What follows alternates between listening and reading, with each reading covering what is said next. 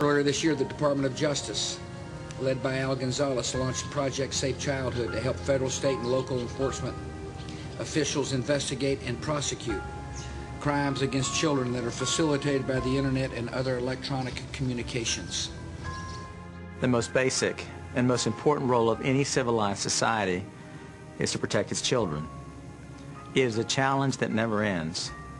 After all, there are so many dangers that we must protect our kids from. Injury and illness, drugs and gangs. The list is frightening and it is long.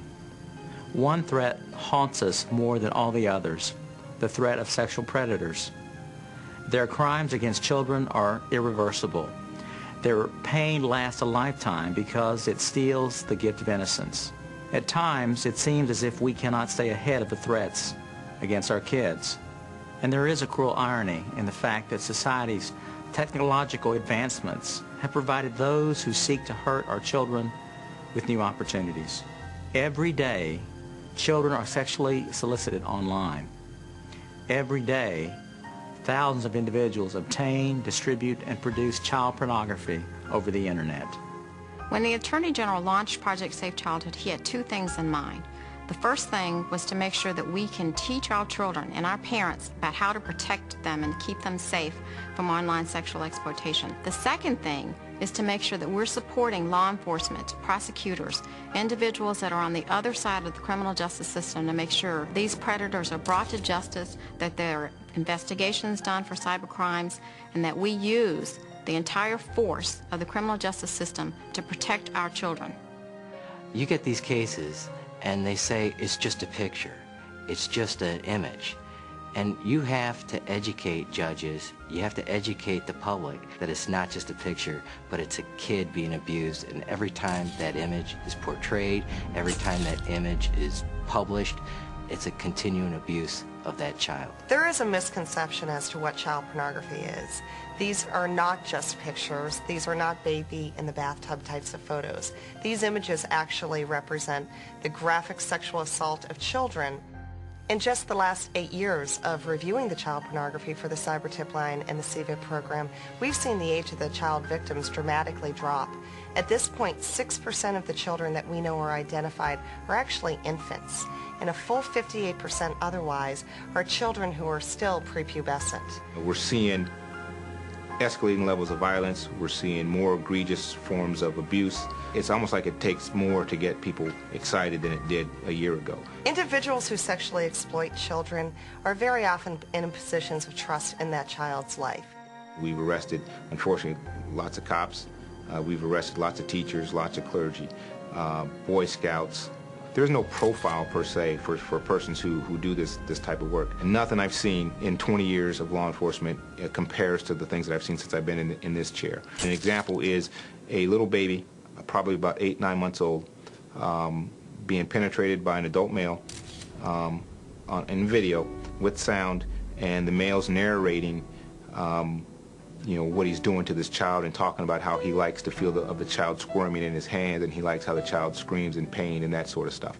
That is unimaginable horror for the kid, uh, unimaginable that anybody in their mind would ever think to do something like that. This just isn't a picture.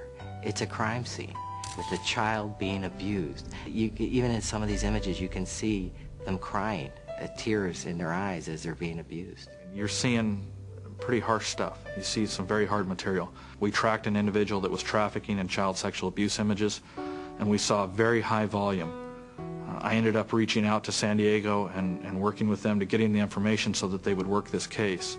They ended up arresting an individual who was working as a respiratory therapist in Children's Hospital there.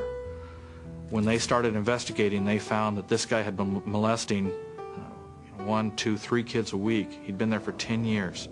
He was molesting kids that were coming out of surgery, that were there for hospice care, children that couldn't ask for help. And there were a lot of kids involved. When they asked him about it, he was looking out the window at, at, at the weather, and it was snowing where he was. They asked him how many kids he had molested, and he said, how many snowflakes are there? The ICAC task forces are a group of state and local law enforcement agencies that are brought together, supervised, and funded by uh, DOJ Office of Justice programs to do uh, investigations of, of child exploitation on the internet. The ICAC Data Network is a series of servers uh, located in Wyoming that are accessible to investigators throughout the United States. One of the big advantages that comes from being able to do this is we can actually make it possible for investigators to not have to look at these videos over and over and over again. The images that we see that depict two-year-olds being violently raped are, are not only are they destructive to everyone involved, but they can tear down these officers that are working these investigations. There are about 37 uh, innocent images task forces across the country.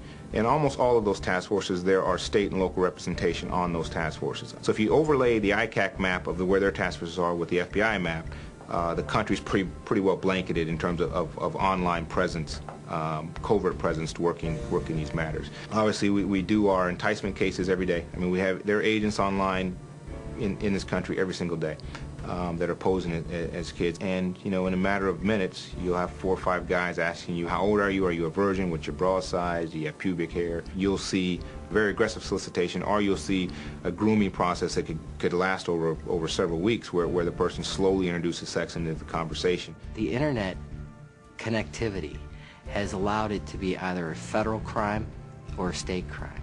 And it could be prosecuted either way. California, until extremely recently, has had a very weak law on possession of child